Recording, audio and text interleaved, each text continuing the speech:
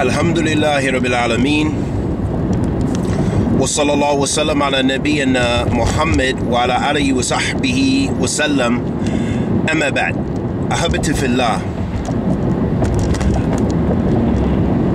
We know the status of the ulama of Islam and we know the importance of adhering to the madhab of the Salaf, to the minhaj of Ahlul Sunnati wal Jama'ah, to Kitabillah wa Sunnatu Rasul sallallahu alayhi wa alihi wa sallam. We know this. The Prophet sallallahu alayhi wa sallam said, Alaykum bi sunnati wa sunnata khulafa rashidin al-mahdi.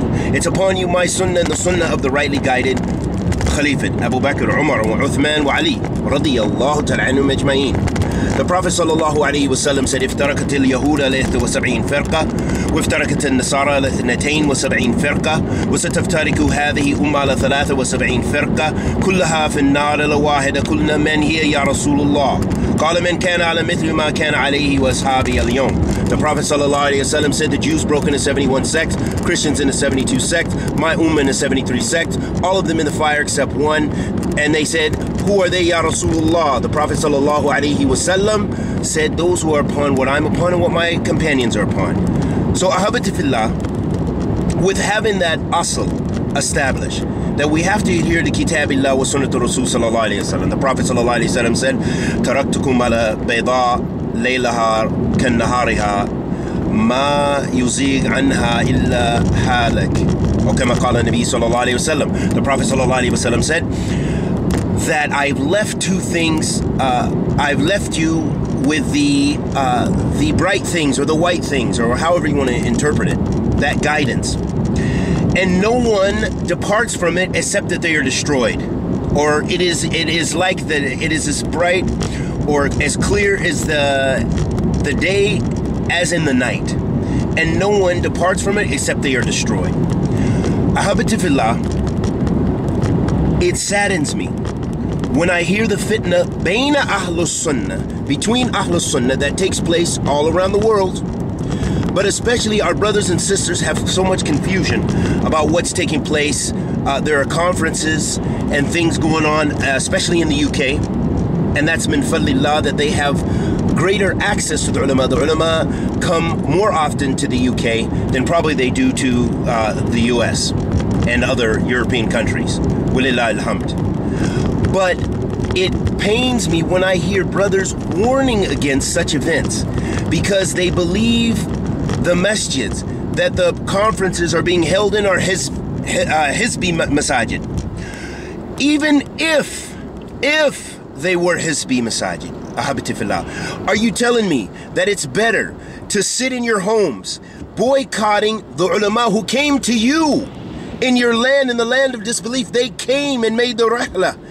They came to to call to Allah and the sunnah of the Messenger of Allah sallallahu alaihi wasallam and the madhab of the Salaf, and you're gonna leave it because so and so and so and so warned against it? Wa billah min ahla fitan wa ahla zigh. May Allah protect us from the people of fitna, the people of hawa, the people of uh, bid'ah, and the hizbiyun, whichever cloak they may wear. Ahabitifillah, that would be, you are doing yourself a disservice. If you do not attend those conferences that host ulama salafiyah and don't even listen or pay attention for one second to those who are much less than them in status who warn against it. Even from ulama, there are some ulama that we respect. We love them because they're ulama known for the sunnah, but they warn against these conferences and they don't have any clue because they take their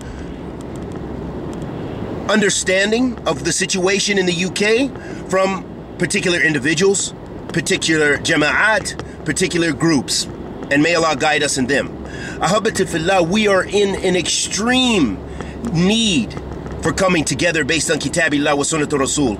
And I advise myself and my brothers and sisters, do not miss those opportunities to sit with ulama of Salafiyah, ulama of Ahl Sunnati wal Jama'ah in this time, the elders like Sheikh Saleh Suhaimi and a Sheikh uh, Suleiman al-Rahili and others that are that are coming, Sheikh uh, the the father Sheikh Falah Ismail and others How how is this? Has it it's gotten this sick?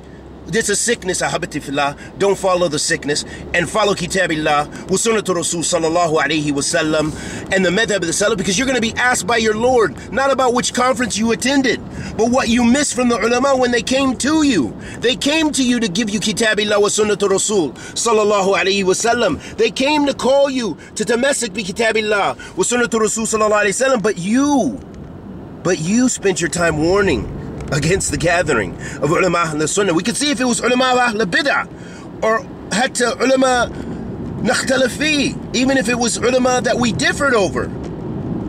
Don't sit and be stuck in these places of disbelief and you didn't do anything for your soul. This is soul food. So benefit and gain benefit. Wa sallallahu wa sallam ala Muhammad wa ala alihi wa sahbihi wa sallam.